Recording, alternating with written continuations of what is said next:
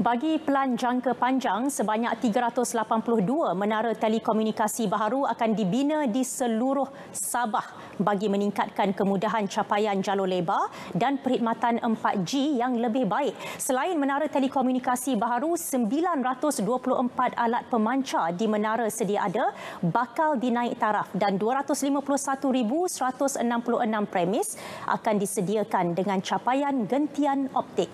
Menurut Menteri Komunikasi dan Multimedia Datuk Saifuddin Abdullah, buat masa ini naik taraf kemudahan capaian internet akan disegerakan apatah lagi negeri itu akan mengadakan PRU Don Sabah pada hujung bulan ini. Tumpuan di beberapa lokasi penting seperti pusat penjumlahan undi, penamaan calon dan pusat media.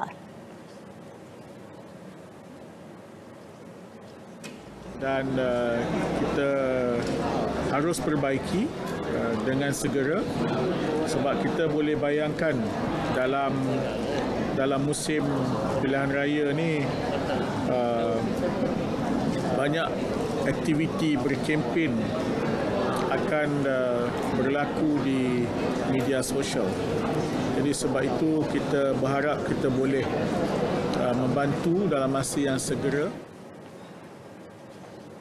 Bagi tujuan sama, Datuk Saifuddin berkata beliau akan melakukan lawatan kerja ke Sabah selama dua hari bermula esok. Beliau mengulas perkara itu selepas merasmikan program aspirasi merdeka di Kuantan, Pahang.